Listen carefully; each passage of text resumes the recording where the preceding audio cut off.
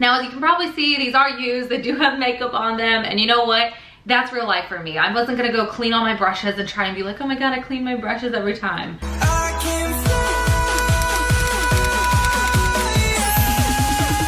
Hello everybody, welcome back to my channel. My name is Kat and I am a flight attendant for a major US airline. Now this video has been requested by so many of you guys, so it's finally time. I'm going to show you how I pack my makeup. Now, as many of my subscribers probably know at this point, I do not usually have to follow the liquid rules when I am traveling to most airports. So kind of take this video as if you are packing your makeup to put it into a checked baggage. Now, if you are planning on traveling with carry-on only, you do need to follow TSA's liquid rules policy, which I recently made a video about, so please go check that out after this one. I will try and be as helpful as possible and point out some of the things that I would have to take out and put into my liquid rules, but I might not cover the broad spectrum of things like I did in that video. So if you do not understand, go check that video out. Now, if you did see my video on how to pack a suitcase like a flight attendant, you probably remember seeing this makeup bag right here, which I absolutely adore this makeup bag. It was wonderful. It's really, really held up and I have used and abused this. I know many of you asked me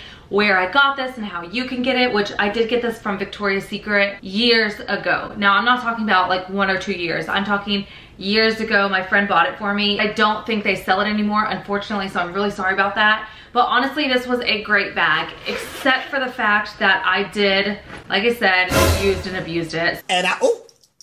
So this is so dirty, it needs a bath. It was just kind of time for me to get a new makeup bag. So if you have seen that video, you have probably seen this. Now, if you have seen my first Amazon haul video, among the, I don't know how many I have done at this point, you probably recognize this. And this is how I was carrying my makeup brushes. Now, I actually really did like this as well because it just has two clasps right here. I would keep all my makeup brushes in it. I could just set it on the sink and easily go through my makeup brushes.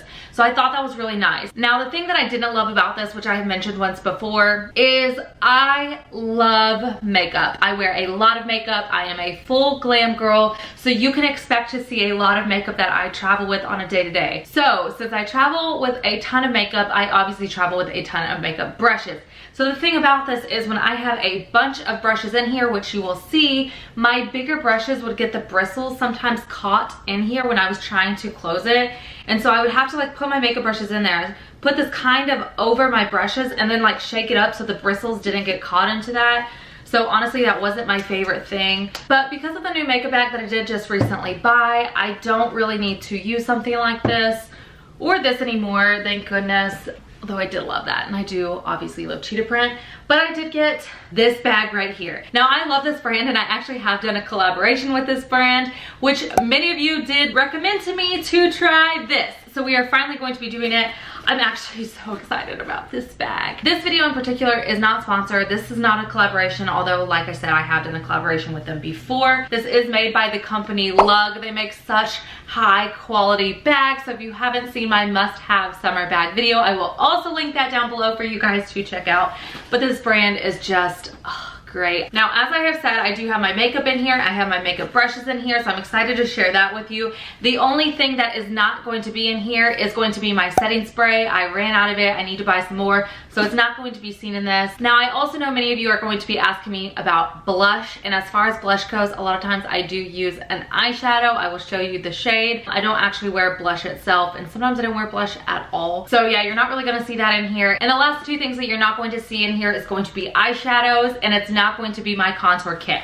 Now the reason it's not going to be those things is because I actually like to travel with full palettes. I do keep them into a Ziploc bag now, which I didn't used to do. You guys told me to do that, and so I started doing that. I actually really love when y'all give me like tips and tricks, so keep on doing that because I learned so much from y'all, just like y'all learn from me. So I do travel with this contour palette. This is the Hi-Fi 8H by Morphe. I have gone over this palette with y'all before, and the thing that I did tell y'all is these shades are actually too dark for my skin tone for the most part, so that's my only thing with this. But I have adored this palette so far. And as you can see, I pretty much have used and abused, whoops. I pretty much have used and abused all of the highlight. I'm getting there with the contour, so I'm probably gonna have to get a new palette. And I also travel with the entire eyeshadow palette. I have lots of eyeshadow palettes. This is the 35W by Morphe. This is the one that I always travel with. One of the biggest reasons that I do travel with this one, which you are going to see is broken That's the perks of traveling with makeup is because as you can see, there's a lot of neutral colors in here. So it's really, really good for me to just do an everyday look, especially for work. These colors and sometimes this one mostly these two are what i use for blush which is why you're not going to see blush in there but yeah that's that's the real life of traveling with makeup is stuff gets dirty stuff breaks you just have to be ready for it so when you guys were telling me put these in a ziploc bag in case they break i absolutely did that now I haven't really had like an instance where they busted into my suitcase when they weren't in a bag, but obviously I don't wanna risk anything. So I do travel with these, they are in a Ziploc bag. I just set them at the bottom of my suitcase. They're pretty much the first thing to go in there. So that's how these get traveled with. Now let's jump into the bag. There's so many different prints and everything that comes with these bags. I love this one. It just kind of spoke to me. This is their trolley case bag. This does have a trolley sleeve with Velcro so you can attach it when you're not using it. But if you do want to use this as a personal item, you can just put this over the handlebar of your rollerboard and carry it with you. So I love that feature of this, even though that this does go inside of my bag. The next thing that it does is it has a pocket in the back. I don't currently have anything in here as you're going to see, but it just has like a little pocket and a little smaller pocket right here. So if you are using this through the airport as your personal item, you can probably put a couple documents, maybe some pins or something, so you can fill out your paperwork if you're traveling internationally or just put whatever you want to in there. But like I said, I don't have anything in there. So when you first open this front pocket right here, this is where my makeup brushes are going to be. So I do like to keep my face brushes in this front pocket right here. And these are kind of like the brushes that I was talking about because like they're fluffier and stuff that they were getting caught in this case. So if you are traveling with not as many brushes as I do, this would probably work out pretty nicely for you or just for some eyeshadow brushes or some smaller brushes, that's great. Now, as you can probably see, these are used. They do have makeup on them. And you know what? That's real life for me. I wasn't gonna go clean all my brushes and try and be like, oh my God, I clean my brushes every time. I don't. I'm sorry. I just don't. I don't clean my, my makeup brushes after every single use. I'm busy. I'm traveling all the time. I don't have time for that. If y'all want to come for me over it, you can come clean my brushes for me. So these are not going to be clean. It's just, it's just not it. Now, also, these are not all gonna be clean. They're not all in the same order, but as you can see, I have so many different makeup brushes. I have Real Techniques in here. I have some brands I don't even know. These are Anjui, which I got on Amazon, which have worked out great. This is like a 26 piece set. So some of these I don't even have in here. I'll link this set down below too for anybody wanting to check those out. I don't even know. These don't even have like a name on them. So I do have like some brushes that I really don't know where they came from. So I have a ton of eyeshadow brushes and different sorts of and different sorts of brushes. So these just go into the other pocket to kind of keep them separate. So now that you can kind of see like how I keep my makeup brushes, organization is like key to me and that's with packing, that's with everything. I love to stay organized when I am traveling. And also you are gonna see in here that a lot of this does have a plastic lining like in here, which does make it really easy to wipe down when it does get makeup on it. Now in this bag, I did have my eyelash glue pretty much explode all over it more times than I would like to admit, which is much harder to get off. So you're gonna kind of see like what I do now in this bag versus that bag. But I do like this plastic lining because it does make it really easy to just wipe off your makeup and then it looks brand new. So in this pocket over here, I do have my beauty blenders. I got these from Target. I have noticed that these are pretty nice and pretty easy to clean. So that is where I go ahead and keep my beauty sponges. Now on the other side over here in this pocket, I do have my powder. I like to use this Coty Airspun powder. You can get this on Amazon, which I'll link down below. You can get it at Walgreens, CVS, wherever. This is the translucent extra coverage. This is fabulous. Love it to death. It does smell like grandma, so you are forewarned on that. And it also can make a mess when you open it. I've never had any instances where it opened into my makeup case itself, but when you do open it and you are putting this on, expect that it's going to go everywhere. So try and put a towel down, especially if you're sitting on the floor in front of a mirror, like I like to do. So I do go ahead and put that powder right here fits perfectly. It's really nice. For the main compartment right here, when you open it, it does have this part right up here. And this is kind of where I just put like my extras, I guess you would say. This was my jade roller, which I got this in my travel haul at TJ Maxx. If y'all haven't seen that, I will again go ahead and link that video down below. But that's where I got this to kind of like roll out my face so when it starts to swell and get really puffy from traveling a lot. I use that. I also do like to travel with just like an empty eyelash case. So that way, whenever I take these off, I can just store them in here. Or if there's a day where I just don't feel like having any makeup, any eyelashes, any whatever on, I just put them back into their little case. So that way they can kind of hold their shape and I don't have to worry about them getting all bent up and messed up. So that'll just stay in here. The next thing that I do have is this, which is like an eyebrow hair trimmer, I guess. This is as cheap as can be. You can probably get these at like the dollar store or your local grocery store or Amazon where everything is. So like nothing fancy about these. They're just to help trim your eyebrows and I just use a spoolie and this. Then I have a pair of tweezers in here. These came from Ulta. They don't even have a brand on them. I have a pencil sharpener in here. And I also have these, and these are just like mini hair trimmers. So if you need to get rid of any peach fuzz, or if you have any like sideburn hairs, or you wanna get the middle of the eyebrow, or whatever you wanna use it for, just your entire face. You do you. So I do carry three of those in here. So that's just kind of how I carry all the stuff, so it does stay out of the rest of the room with my makeup. And the next thing I do have in here is a bag of makeup wipes. So little makeup remover wipes by Neutrogena. Love these, they're so gentle on the skin. You don't even really have to press down, just kind of smooth it out and it takes the makeup right off.